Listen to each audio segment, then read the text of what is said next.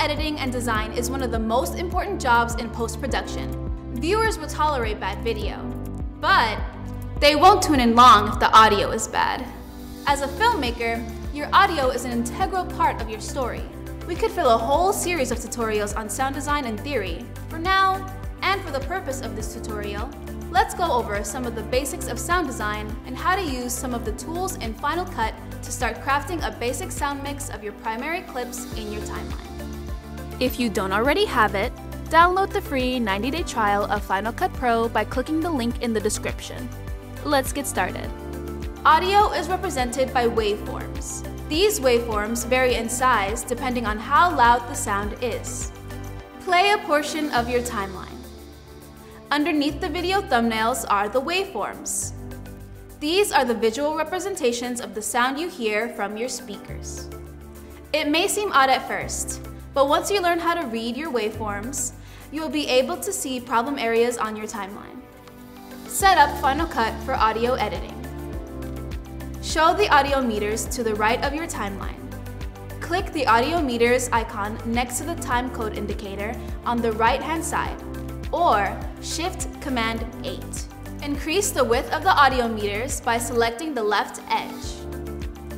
Click and drag the edge wide enough so you can see the numbers in the above audio meters box.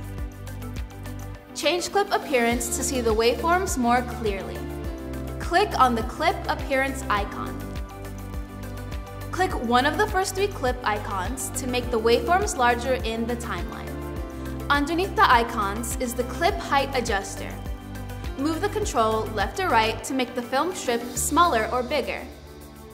You can also zoom into an area of the timeline by moving the control in the clip appearance window to the left or right, or by clicking Command plus or Command minus to zoom in or out. Press Shift Z to scale the timeline to fit into the window. Understanding audio levels. Play a portion of your video with audio in it. Now it's time to go through more of the functionality of the app. The audio meters will move up and down. A good rule of thumb is to keep your quieter parts of the mix around minus 20, with all of your dialogue staying between minus 12 to minus 6, which are in the green. We will go into why you want to keep your sound mix, or the cumulative total of all sounds playing at the same time, around minus 12 to minus 6 in a later lesson. As audio moves closer to zero, audio will be in the yellow, indicating that your audio is in the caution zone. The highest audio level you can safely go up to is zero. Once your audio goes past zero, you will have audio clipping and distortion to your sound. If the audio was recorded hot, then you will have clipping already in your sound. Our previous tutorials have covered how to record good audio while shooting. For the purpose of this tutorial, we will work on the audio that was initially recorded with your video. Here are some of the tools available to edit your audio to make a more consistent sound. Adjusting volume. Select a clip in the timeline. Right-click and select Expand Audio, or Control S. This allows you to work with just the waveform. Move playhead over the middle line in the waveform. That is your 0 decibels line. You can move the line up and down to increase and decrease volume. The lowest you can decrease your volume is the infinity symbol, which represents complete silence. The highest you can increase the volume in the timeline is 12 decibels. To adjust the whole clip at once, grab the audio line in the waveform. Move the line up and down, or, while the clip is still selected, go to the audio inspector. Then to the volume control and move it left to decrease, right to increase. To adjust volume up 1 decibel at a time, press Ctrl equals. And to adjust volume down 1 decibel at a time, press Ctrl minus. When increasing your volume, you may get some of your audio waveforms in the yellow and red. This indicates that there might be problems with the volume level. These are the areas you will want to focus your initial attention on. Play or scrub an area where you have yellow and red waves. We will select that area with the Range tool. Using the Range tool. Use the I and O keys to create a range or use the Range tool. Press R on the keyboard. In the waveform, click and drag the selection up or down to change the selected waveform volume. While the range is still selected, hit forward slash on your keyboard to play just the selection. Press Command L to loop playback. You can make adjustments in real time as audio is looped back. You can switch back to your select tool at any time by hitting A on the keyboard. Keyframes.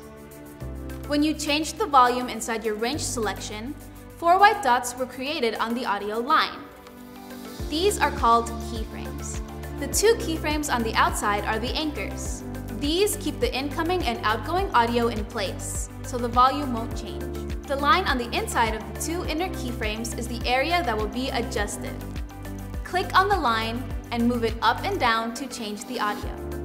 You can select and move the keyframes to adjust them or select the line of the keyframes to ramp the sound incoming or outgoing. This will make the change in audio more gradual and less abrupt. To create keyframes on any part of the audio line, move to an area before the audio you want to change. Option click on the line. This will create a keyframe.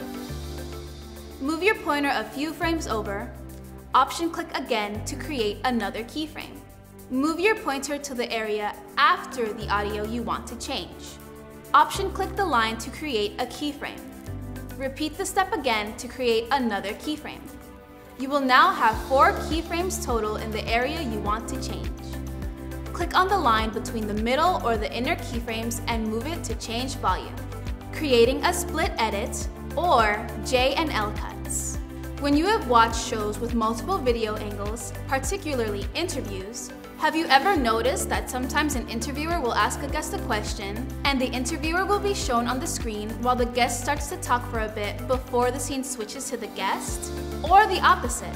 The audio of the interviewer is still heard after the scene has switched over and you see the guest on screen for a bit. These are called split edits, commonly referred to as J and L cuts. They are named after the shape the clips make when the audio comes before or after the video. Tap the up or down key on your keyboard to move the playhead between two clips. Move your playhead to a video edit point in the timeline. Double-click the clip on the left's audio waveform to expand the audio from the video. Double-click the clip on the right's audio waveform to expand the audio from the video. Click and drag the audio from the left clip or outgoing clip underneath the right clip's video or the incoming clip. Click and drag the audio from the right clip or outgoing video underneath the left clip's video or incoming video. Play the area of the split edit. Create Hi. next. The extended audio of these two clips begins and ends suddenly and abruptly. To make the overlapping audio sound more natural, you can fade in and out the waveforms of your clip by using the built-in frame handles. Using and adding fade handles. Zoom into the edge of the outgoing audio clip or the outgoing video if need be to see the frame handle. Click and drag the handle in the clip to the left until it lines up with the beginning of the incoming audio clip. A line will appear inside the audio clip as you drag. This line is the duration and the fade effect on your clip. A time duration box will appear as you drag, showing how long the fade effect takes to complete. Select and right-click the frame handle of the clip to change the fade type. Repeat the steps above for the incoming audio clip underneath, except move the frame handle right until it lines up with the edge of the outgoing audio clip. You have just created an audio crossfade. You can also apply the fade effect in the Modify menu. Select Modify then adjust audio fades. With FCP 10.4.9 and later, you have the new audio crossfade feature, Option T, which creates this in one quick keystroke. Conclusion. When you have finished, congratulate yourself. You have just completed your first sweep of sound design. To listen to the difference, open and play back your previous version of your project in the timeline. Then, open and play your current sound design. Do you hear the difference? That is the difference that your audience will hear too. Take your time to understand the skills and workflow techniques we just covered and practice what you have learned going forward in new projects. Soon, you will get a feel for the audio tools and how they work in Final Cut. Your career as a Final Cut sound designer is just beginning. We will be covering additional Final Cut Pro advanced sound design techniques in the next tutorial.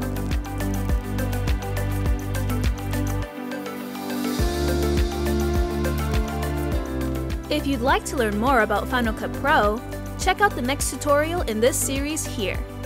And if you're curious about everything Final Cut Pro has to offer, but you still haven't tried it, you can check it out free for 90 days using the link below.